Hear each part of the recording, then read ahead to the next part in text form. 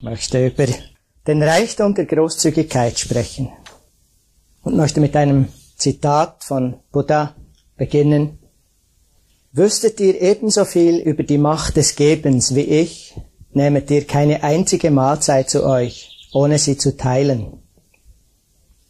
Es gibt viele Modelle, die versuchen, die wichtigsten Aspekte der spirituellen Praxis zu beschreiben, zu umreißen. Man spricht zum Beispiel vom dreifachen Training von Sila, Samadhi und Panya. Das heißt Ethik, Meditation und Weisheit. Ich werde heute über Großzügigkeit sprechen im Rahmen eines weiteren Praxismodells. Ganz üblich in Asien. Da spricht man von den drei tragenden Pfeilern der Praxis als Dana, Shila, Bhavana. Das heißt als Großzügigkeit, als ethisches Verhalten und als Meditation. Großzügigkeit, Dana, wird also als der erste tragende Pfeiler der Praxis gesehen. Hier bei uns im Westen, ich denke vor allem in der Vipassana-Tradition, vielleicht zum Teil auch im westlichen Zen, haben wir mit der umgekehrten, vielleicht verkehrten Reihenfolge begonnen. Wir begannen und beginnen auch heute oft noch mit Bhavana, mit Meditation. Hat nicht viel mit spiritueller Praxis am Hut und wenn man dann interessiert ist, dann geht man meditieren. Ja. Wobei vielleicht noch zu sagen ist, dass viele von uns von der Generation meinen Kollegen und Kolleginnen vor 30 Jahren eigentlich mit bewusstseinserweiternden Drogen anfingen. Wir haben damals die gewaltigen Möglichkeiten des Geistes erlebt und erkannt, weil aber die außerordentlichen Zustände nie lange anhielten, wandten wir uns der Meditation zu. Bhavana. Shila, ethisches Verhalten, schien uns etwas nebensächlich, vielleicht ein bisschen kleinkariert oder sogar lächerlich. Es geht vielen auch heute so. Diejenigen von uns, die viele Retreats machten, damals dann ins Alltagsleben traten, dann wieder in lange Retreats und so weiter, wir merkten langsam, wie wichtig ein gewaltloses, sensibles, liebevolles Verhalten ist. Sila. Wurde klar, dass ohne diese Grundlage keine wirkliche innere Transformation möglich ist, damals wie heute. Das heißt Gewaltlosigkeit, Ehrlichkeit, Vertrauenswürdigkeit, rücksichtsvolles Verhalten in Beziehungen, in intimen Beziehungen, auch mit kleineren Dingen, nicht nur Ehrlichkeit im Allgemeinen, sondern Ehrlichkeit, die sich halt auch in viele der Grauzonen hineinbewegen muss. Ich denke, vielleicht interessant sind kleine Notlügen. Ja, da konnte ich nicht anders, da musste ich halt. Interessant finde ich ähm, Ehrlichkeit mit Steuern und Versicherungen oder mit ausgeliehenen Büchern zum Beispiel. Das ist immer ganz interessant. Shila, ethisches Verhalten ist die Grundlage der Praxis, so wie die Wurzeln eines Baumes, ohne die es keine Äste, keine Blätter, keine Blüten und keine Früchte gibt. Ethik, Shila, wurde wichtiger für uns.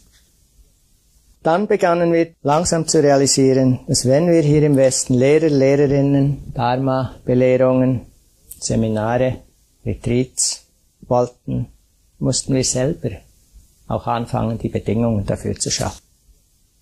Dana, Großzügigkeit, geben, unterstützen, dienen wurde zum Thema. Es brauchte es braucht heute Manager, Managerinnen, Köchinnen, Leute, die Gebäudearbeiten machen, Reparaturarbeiten, Renovationsarbeiten, Malen, Computerarbeit, Buchhaltungsarbeit, Grafiker. Es braucht Unterstützung in Form von Spenden, von Darlehen, von Know-how, von Zeit, von Energie. Das heißt, Großzügigkeit betrifft nicht nur materielles Geben, sondern das Geben von Zeit, von Aufmerksamkeit, von Wissen, von Können, von Helfen und Heilen und Belehren und Beraten. So ganz langsam über die Jahre begannen wir die zentrale Wichtigkeit von Großzügigkeit zu verstehen und zu leben. Ich denke, heute ist es auch hier im Westen schon ganz anders. Aus Engel hier ist ein tolles Beispiel. Ein Ausdruck von großem Interesse an der Praxis, von Weisheit und Mitgefühl. Das Ausdruck von der Großzügigkeit vieler. Natürlich vor allem Ausdruck von der Großzügigkeit der fünf Engels, die hier ihre Zeit, Energie, Arbeit, ja, ihr Leben investieren, um dieses Haus zu einem idealen Ort der Praxis zu machen. Das ist Großzügigkeit. Unser neues Zentrum in der Schweiz, in Beatenberg, ist ein Beispiel. Es fing an vor 26 Jahren mit den ersten Kursen, die wir in der Schweiz organisierten. Über 130 Kurse der Damma-Gruppe Schweiz. Alles ausschließlich von unbezahlten Freiwilligen organisiert, bekocht, gemanagt, gesessen natürlich auch. Mit Sitzen ist auch wichtig. Über all die missglückten Versuche von Hauskäufen damals, über die Gründung eines Komitees vor vier Jahren, die mittlerweile Tausenden von Stunden von freiwilligen Arbeit, über die enorme Großzügigkeit, die uns all das Geld von etwa fast zwei Millionen Mark finden und zufließen ließ. Eine Dharma und Dana Erfolgsgeschichte, bis jetzt jedenfalls. Im buddhistischen Asien läuft dieser Prozess von Dana, Shila, Bhavana von Großzügigkeit, von ethischem Verhalten und Meditation genau umgekehrt. Dana, Großzügigkeit kommt zuerst und wird mit umwerfender Begeisterung und uneingeschränkter Energie und Offenheit praktiziert. Eben großzügig. So ein interessantes Wort. Shila, ethisches Verhalten, wird als wichtig, aber doch ein bisschen weniger wichtig betrachtet, man lebt ethisch oder nimmt die ethischen Gelübde an Sonntagen. Oder in Asien ist es an Vollmondtagen, Werktag, anderes auch wichtig, vielleicht wichtiger. Wie hier früher mit der Kirche. Bhavana, Meditationspraxis, ist in Asien eher selten. Von den Mönchen und Nonnen in Thailand meditieren vielleicht zwei, drei Prozent unter den Laien kaum jemand. Es ist immer noch sehr viel, äh, was es gibt an Meditationszentren und Klöstern verglichen mit uns dort. Aber es ist nicht, dass wir uns manchmal diese naiven Vorstellungen in buddhistischen Ländern meditieren alle. Wir sitzen immer so zusammen in Retreats und meditieren. Aber die Großzügigkeit ist überwältigend. Es ist nicht nur ab und zu und von einigen. Und natürlich geht es ganz und gar nicht nur um Großzügigkeit im spirituellen Bereich. Großzügigkeit muss mehr und mehr unser ganzes Sein durchdringen. Es ist Geben statt Festhalten. Wir geben auf statt zu horten, wir lassen los statt anzuhaften. Ist die Verbundenheit, die durch Geben entsteht, die ethisches Verhalten mehr und mehr zu unserem natürlichen Verhalten macht. Und die Offenheit und innere Fluidität, die durch Dana, durch Loslassen, nicht haften und Großzügigkeit entsteht, wird unsere Meditation in ganz wesentlicher Weise unterstützen und vertiefen. Im Mahayana Alamkara Sutra wird gesagt, Freigebigkeit überwindet alles Widrige, schenkt nicht begriffliches ursprüngliches Gewahrsein, erfüllt in vollkommener Weise alle Wünsche und lässt die Wesen vollständig heranreifen. Und im Bodhisattva Sutta Pitaka wird gesagt, für Großzügige ist Erleuchtung nicht schwer zu erlangen. Gutes Argument. Ja? Ganz wesentlich zum Verständnis dieser Aussage ist, dass wir Dana, Großzügigkeit, richtig verstehen. Das heißt, wir sprechen nicht von einem Geschenk, das wir unseren Gastgebern mitbringen, oder von den 50 Mark, die wir vielleicht äh, Médecins Sans Frontières oder Greenpeace oder Amnesty International einzahlen. Natürlich das auch. Genauso wichtig. Aber wir sprechen auch von einer radikaler, radikalen inneren Haltung von Herz und Geist. Rumi, der Sufi-Mystiker, beschreibt dies, wenn er die Haltung des Derwisch, des Sufi-Adepten beschreibt und sagt, Der Sufi öffnet seine Hand dem All, um ungebunden zu verschenken, jeden Augenblick. Anders als einer, der auf der Straße um Geld bettelt. Bettelt ein Derwisch, dir sein Leben schenken zu dürfen. Dana, das Wort für Großzügigkeit in Pali, ist ein Synonym von Aloba, ist gleichbedeutend mit dem Begriff Aloba. Loba heißt Gier, Verlangen, Anhaften, Festhalten, Geiz. Und Loba ist einer der drei Wurzelursachen, der grundsätzlichsten Ursachen allen Leidens. Aloba oder eben Dana steht dem, dem Anhaften, dem Festhalten, dem Geiz direkt gegenüber, ist seine Auflösung, seine Heilung und ist somit das Ende des Leidens. Also nicht eine Qualität, die auch noch ganz hilfreich oder auch noch ganz gut ist oder auch noch ganz wichtig. Die letztliche Essenz aller Dharma-Praxis, aller Dharma-Lehren heißt, entwickle das Herz, entwickle den Geist, der an nichts festhält. Das Dharma des Nicht-Erfassens und Ergreifens. Und genau das ist Dana, Großzügigkeit ist die zentrale Qualität der Befreiung. Es ist die tiefste Weisheit, die erkennt, die sichtbar macht, aber es ist das Erlöschen von Anhaften, es ist das Loslassen, das befreit. Nekama, von Ursula gestern gesprochen hat, und eben Dana.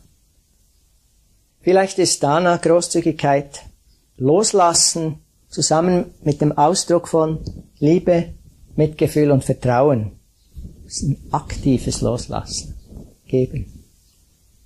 Großzügigkeit ist somit eine der drei Wurzeln des Guten.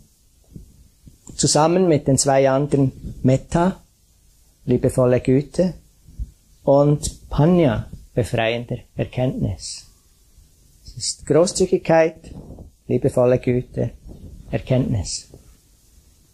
Nicht haften ist die Hauptcharakteristik von Großzügigkeit.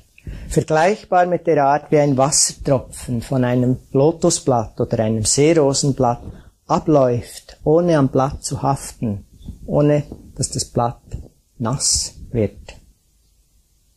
Das Gegenteil von einem Tropfen Öl auf Papier. Sofort so in Papier drin, dass man es nicht mehr wegbringt. Es haftet. Es haftet so sehr, dass es Teil davon wird, während dem Dana nicht haften bedeutet. Wenn Großzügigkeit unser Leben durchdringt, verändert sich seine Qualität spürbar. Wir fühlen uns offener, fühlen uns verbundener und freudvoller. Großzügige Menschen wecken in uns Gefühle der Offenheit, der Liebe und der Freude. Und jede Art und jedes Maß des Gebens macht uns und andere glücklich, froh. Ein alter Text sagt, und vielleicht als Kommentar, ich denke, früher bezog sich, früher und fast überall in der dritten Welt, auch heute, bezog sich Geben, bezieht sich Geben meist auf Essen. Heute noch essen wir, ich glaube, ein Fünftel der Menschen, 90 Prozent der Nahrung dieser Erde. Und allein pro Tag sterben Tausende von Kindern an Unterernährung. Oft im Zusammenhang mit Großzügigkeit das Thema. Und dieser Text sagt, wer Nahrung spendet, gibt einen vierfachen Segen. Man spendet Leben, Schönheit, Wohlsein und Kraft. Darum wird einem als Himmelswesen oder als Mensch langes Leben, Schönheit, Wohlsein und Kraft zuteil, wenn man in dieser Art großzügig ist. Anderswo heißt es, geben bringt einen fünffachen Segen. Das ist interessant. Beliebtheit, edlen Umgang, guten Ruf, sicheres Auftreten und himmlische Wiedergeburt. Und die Essenz des Gebens ist Loslassen. Darum fühlen wir uns durch Geben leichter, froher und auch freier. Immer dann, wenn wir geben, wenn, wenn es auch echt motiviert ist, ist unser Herz offen und dann fühlen wir uns reich, unbeschwert und gleichzeitig tief verbunden. Denn durch Geben und durch Großzügigkeit überschreiten wir die künstlichen, einengenden Grenzen der Selbstbezogenheit. Und dadurch durchschauen und durchbrechen wir das Gefühl des Getrenntseins und fühlen uns eins mit dem Leben und fühlen uns reich. Rumi schreibt, aus der Schatzkammer zurückkehrend fühle ich mich reich. Zusammen mit Mitfreude, mit Mudita, denke ich, ist Großzügigkeit die freudvollste Dharma-Praxis, die es gibt. Ja, nicht so anstrengend wie Vipassana. Was sind die Bereiche der Großzügigkeit? Was ist es, das wir geben können? Ein Gefühl für die Weite und die Vielschichtigkeit dieser Herzensqualität können die folgenden dem Geben verwandten Qualitäten vermitteln. Worte, die wir brauchen. Aufmerksamkeit schenken, zum Beispiel. Oder Beachtung schenken. Braucht Hingabe, Aufgabe, Zugabe, abgeben, vergeben, nachgeben. Aber auch offen empfangen, erhalten, annehmen. Auch das ist Großzügigkeit. Wir können materielle Dinge geben, Essen, Trinken, Obdach und Wohnung, Bekleidung und wenn nötig Medizin, Geschenke aller Art, was immer gebraucht wird und was wir von diesen Dingen haben, die gebraucht werden. Geld ist ganz wichtig. Ich denke, wir sind oft verunsichert im Umgang mit Geld. Es hat einen dermaßen hohen emotionellen Gehalt für viele. Soll ich geben? Wie viel soll ich geben? Bin ich nicht blöd zu geben? Werde ich ausgenutzt? Ausgenutzt, wenn ich gebe? Bin ich naiv? Wirke ich protzig? Oder unkultiviert? Oder doch geizig? Geld an sich ist nicht gut oder schlecht. Wenn es aus heilsamer Motivation für Hilfreiches gebraucht wird, ist es gut. Umgekehrt ist es nicht sehr gut. Manche sind übervorsichtig mit Geld. Manchmal vielleicht auch romantisch. Ich möchte dem Tempel eine Rose geben. Etwas Schönes, etwas Erhabenes. Nicht schnödes Geld. Ich denke, das ist gut so. Außer der Tempel braucht ein neues Dach oder eine Revision des Heizungssystems. Dann reichen Rosen nicht. Wir brauchen Gewahrsein, Klarheit, Sensibilität und Verantwortung. Dann können wir auch mit Geld sinnvoll und hilfreich umgehen. Eine der wichtigen Figuren zu Buddhas Zeit war Anathapindika, ein sehr reicher Händler. In vielen der Lehrreden liest man, wo die Lehrrede gegeben wurde. Und sehr oft ist es in dem Hain von dem Anathapindika, wo dem sich der Buddha sehr oft für lange Zeit aufhielt. Anathapindika unterstützte die Sangha auf vielfältige Art und Weise. Er kaufte zum Beispiel dem örtlichen Prinzen eben diesen ganzen Hain ab, den Chetwa-Hain, damit er ihn den Mönchen und Nonnen als Aufenthaltsort anbieten konnte. Aber der Prinz zögerte zu verkaufen. Und da legte Anatapintika die ganze Fläche des Parks mit Silber- oder Goldstücken aus, damit der Prinz den Park hergeben würde. Das wiederum hat den Prinz dann so beeindruckt, dass er äh, es für die Hälfte gab. In einem Meditationszentrum in Asien, in dem ich vor vielen Jahren praktizierte, gab es eine Warteliste von einem Jahr von Familien, Clans, Vereinen und Dörfern und alle kamen für einen Tag, eine Nacht und dann den Tag. Und da waren 365 oder mehr schon zum Voraus gebucht.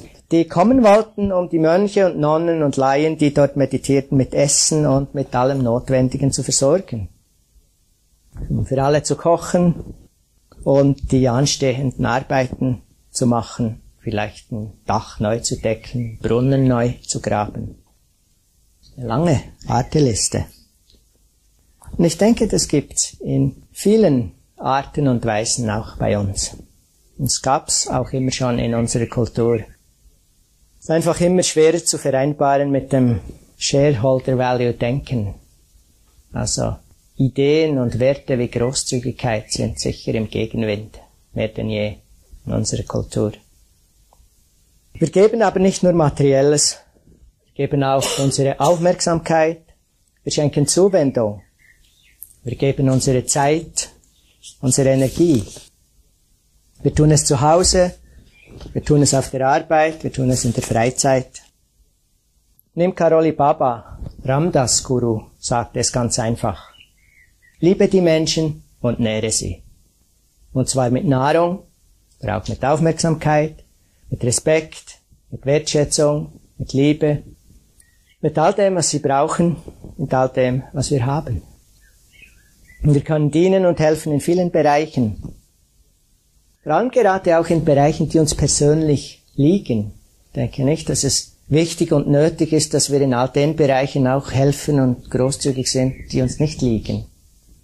Aber es gibt viele Bereiche, die uns liegen. Für manche kann das politisch sein, Friedensarbeit, Umweltschutz, Menschenrechte oder sozial, Nachbarschaftshilfe oder was immer es gibt, Suppenküchen gibt's.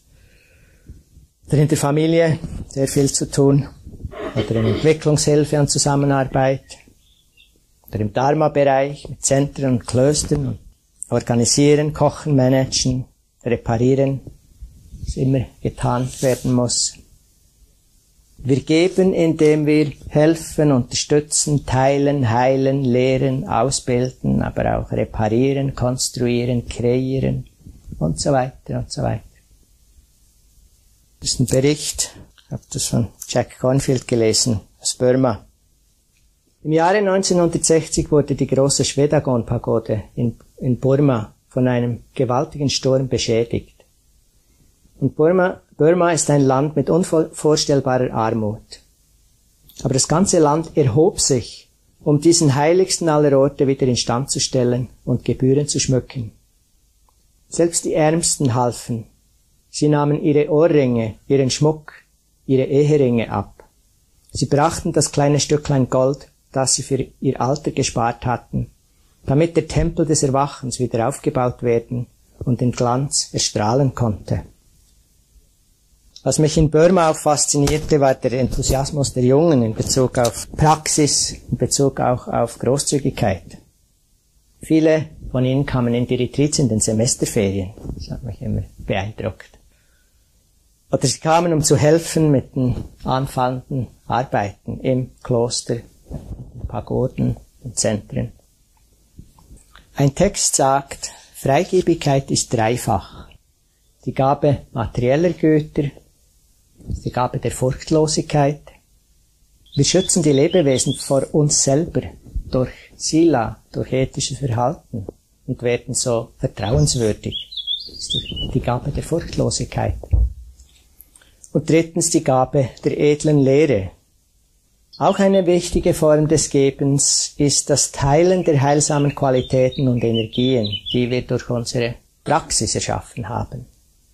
Wie wir das hier jeden Abend machen und wie ich euch empfehlen möchte, dass ihr es jeden Abend macht. Nicht nur hier, sondern jeden Tag, jeden Abend. Und wenn ihr formale Praxis übt, am Schluss der formalen Praxis, jedes Mal. Durch die Macht meiner Praxis mögen alle Lebewesen Befreiung und Erleuchtung erlangen. Eine ganz effektive Form des Gebens ist es natürlich, wenn wir uns voll und ganz der Praxis hingeben. Das ist eine Form von Geben, Hingabe. In dem Maß, wie wir liebevoller, weiser und freier werden, ist es ein Geschenk nicht nur an uns selber, sondern an alle um uns herum.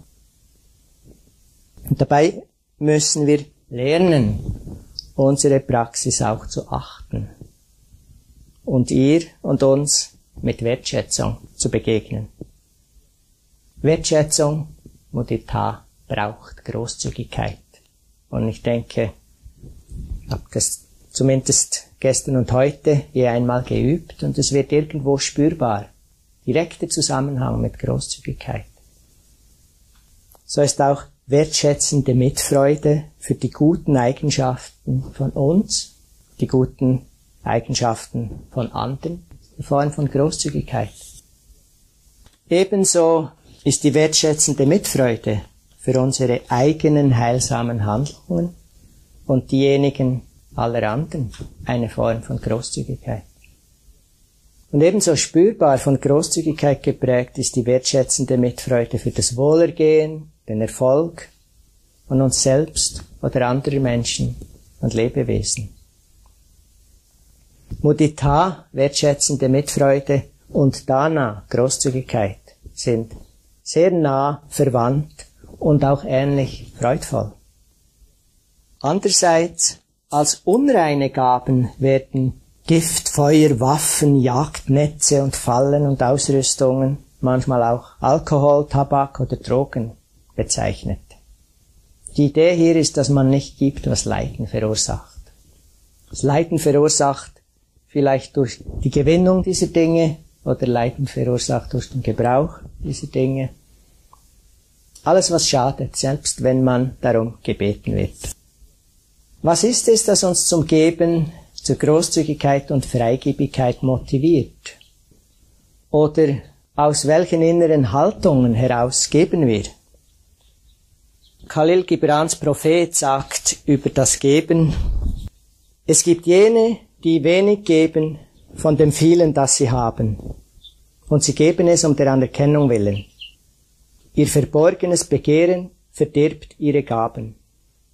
Es gibt jene, die wenig haben und alles geben. Es gibt jene, die glauben an das Leben und des Lebens Gaben, und ihr Kasten ist nie leer. Es gibt jene, die mit Freude geben, und jene Freude ist ihr Lohn. Es gibt jene, die mit Schmerzen geben, und jener Schmerz ist ihre Taufe. Es gibt jene, die geben und keinen Schmerz beim Geben kennen, weder Freude dabei suchen noch im Bewusstsein der Tugend geben. Sie geben so, wie drüben im Tal die Myrte ihren Duft in den Raum verströmt. Durch ihre Hände spricht Gott und aus ihren Augen strahlt sein Lächeln auf Erden. Wenn wir Großzügigkeit für eine Weile sehr konsequent praktiziert haben, wird es mehr und mehr spürbar, erfahrbar, dass es sich gut anfühlt wie schon erwähnt, offener, unbeschwerter, verbundener, freudiger. Wir fühlen uns reich, wenn wir großzügig sind. Wir fühlen uns immer dann arm, wenn wir gierig sind und schauen, was wir noch haben könnten, was man noch kriegen könnte und rausholen könnte. Dann ist das Gefühl da, dass wir zu wenig haben und mehr bräuchten. Und mit Großzügigkeit ist es genau umgekehrt. Wir fühlen uns reich. Durch diese Erfahrung, dass es sich gut anfühlt, werden wir motiviert, immer großzügiger zu sein. Manchmal, oft, kann es aber auch sein, dass wir versuchen, großzügig zu sein, weil es empfohlen wird, weil wir wissen, dass es gut wäre oder weil vielleicht sogar gute, lohnende Resultate versprochen werden. Zum Beispiel in der buddhistischen Religion ganz klassisch in Asien, weil es enorme Vorteile fürs nächste Leben bringen soll. Ganz klar, jedem klar. Genauso in der christlichen Religion, weil wir dafür ins Paradies kommen. Ich denke, es ist sinnvoll, sich für Großzügigkeit motivieren zu lassen, durch die Tatsache, dass es sich lohnt und dass es Sinn macht. Es ist aber auch möglich, dass diese Erwartungshaltung zu Gewinnstreben wird und dann dreht sich das Ganze, dann ist es nicht mehr Großzügigkeit. Sieht dann vielleicht so aus. Ist die Haltung vergiftet, die Motivation ist nicht mehr wirklich Großzügigkeit, nur noch die äußere Action. Das ist ein anderes Beispiel hier. Ein Mann pflegte einem, in Indien, einem Yogi Geld und Gaben zu schenken. Als er dies tat, wurde er immer wohlhabender, und je reicher er wurde, desto mehr Geschenke machte er. Aber eines Tages dachte er, man sagt, je heiliger die Person, der man schenkt, desto größer wird das Verdienst sein so werde ich von nun an dem Guru des Yogi Geschenke machen. Als er dies tat, wurde er ärmer und ärmer. Verzweifelt fragte er den Yogi um Rat. Dieser erklärte ihm, Schau, solange du gegeben und dich nicht gekümmert hast, wem du gabst, ob mir oder jemanden anderem, gab dir Gott und kümmerte sich nicht, wem er gab. Als du aber anfingst, besonders würdige und berühmte Menschen auszuwählen, tat Gott genau dasselbe. es soll, ich habe das nicht selber gesehen, ich habe das von einem Freund geschildert erhalten, es soll buddhistische Tempel geben, in denen man draußen vor den Toren Papierautos, Papierkühlschränke, Papiertausendernoten und ähnliches kaufen kann, um sie dann auf dem Altar darzubieten in der Hoffnung als karmisches Resultat dann Autos, Kühlschränke und viel Geld zu erhalten. Ich glaube, Kommentar ist hier überflüssig.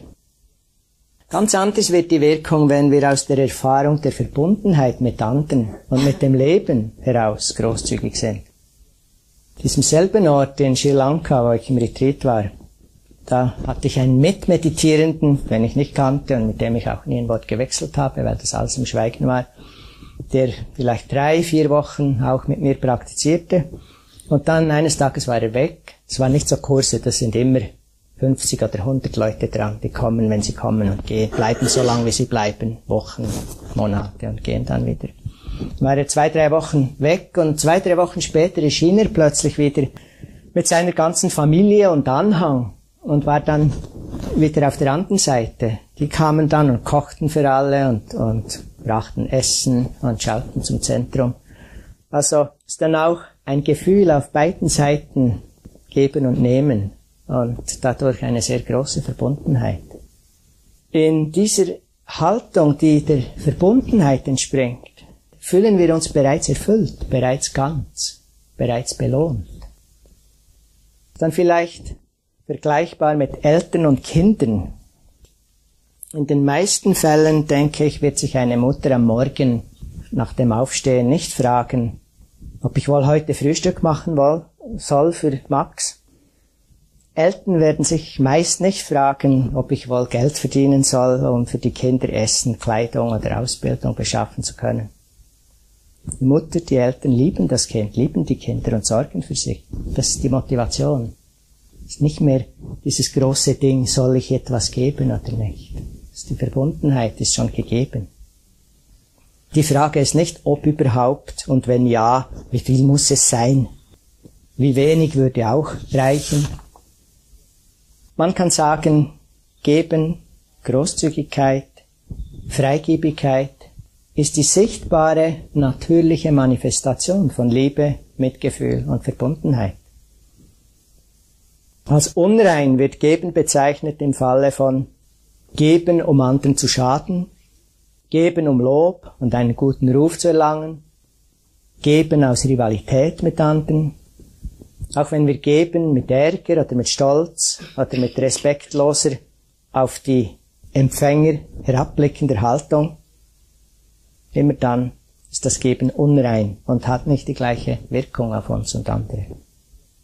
Alles einigermaßen offensichtlich. Ein wesentlicher Teil einer spirituellen Praxis ist es, sich immer und immer wieder mit der Absicht, mit der Motivation hinter unserem Tun auseinanderzusetzen. Ich denke, es ist ein anspruchsvoller Teil der Praxis.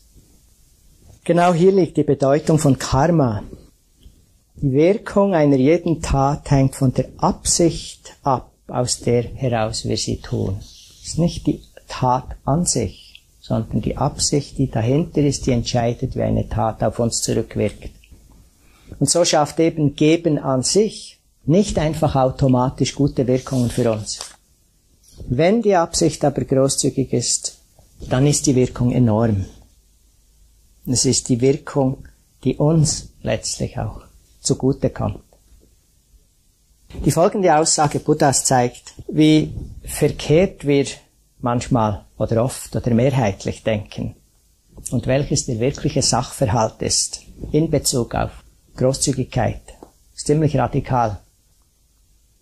Was wir hergeben, ist unser. Was wir zu Hause behalten, ist nicht unser. Was wir hergeben, hat für uns Wert. Was wir zu Hause behalten, ist wertlos. Was wir hergeben, brauchen wir nicht zu schützen. Was wir zu Hause behalten, müssen wir schützen. Was wir hergeben, macht keine Sorgen. Was wir zu Hause behalten, macht Sorgen. Was wir hergeben, bringt unerschöpflichen Wohlstand. Was wir zu Hause behalten, wird sich erschöpfen. Was wir zu Hause behalten, führt als nächstes zu Negativität. Was wir hergeben, führt auf direktem Weg zur Erleuchtung. Dasselbe ganz kurz gefasst sagt die Popband Young Radicals auf ihrer neuen CD. Hast du die, Wolle? Ja. You get what you give. Du kriegst das, was du gibst. Dana, Großzügigkeit ist auch eine der Paramitas, der Vervollkommnungen eines Menschen auf dem Weg zur vollständigen Erleuchtung eines Buddha. Die Vollkommenheitsstufe dieser Großzügigkeitsparamita ist erreicht, wenn all die scheinbare Getrenntheit zwischen Geberin, der Gabe und dem Empfangenden vollständig wegfällt. Wenn jegliche getäuschte Wahrnehmung von Selbstexistenz in der Person des Gebenden, in der Gabe und der Person des Empfangenden völlig durchschaut worden ist. Die Vervollkommnung der Großzügigkeitsparameter fällt zusammen mit der Vervollkommnung von Prajna-Paramita, der Panya-Paramita, der Vervollkommnung der Erkenntnis und Weisheit. Und Gibran, Gibrans Prophet beschreibt eine solche Haltung und ich wiederhole Teil des Verses, den ich vorhin gelesen habe. Es gibt jene, die geben und keinen Schmerz beim Geben kennen, weder dabei Freude suchen, noch im Bewusstsein der Tugend geben.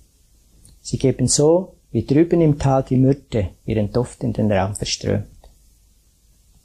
Zhuangzi beschrieb eine Zeit oder eine Welt, ich weiß nicht, ob es eine Zeit war, in der Verbundenheit und Offenheit natürlich waren oder sind. Niemand macht viel aus Ehrenmännern oder Ehrenfrauen. Und Begabte werden nicht als besonders betrachtet. Die Herrscher sind einfach die oberen Zweige des Baumes und das Volk ist wie die Hirsche im Wald. Sie sind ehrlich und rechtschaffen, ohne zu denken, dass sie ihre Pflicht tun. Sie lieben einander und wissen nicht, dass es Nächstenliebe ist. Sie betrügen niemanden, wissen aber nicht, dass sie vertrauenswürdig sind. Sie leben frei miteinander im Geben und Nehmen und machen nichts Besonderes aus ihrer Großzügigkeit. Ich möchte mit einer Definition von Großzügigkeit aus einem Text aus dem Bodhisattva Bhumi schließen. Was ist die Essenz von Großzügigkeit? Eine nicht anhaftende, spontan entstehende Haltung des Geistes und des Herzens, mit den sich aus ihr ergebenden freigebigen Handlungen, in denen man alles völlig hergibt eine nicht anhaftende, spontan entstehende Haltung des Geistes und des Herzens, mit den sich aus ihr ergebenden freigebigen Handlungen, in denen man alles völlig hergibt.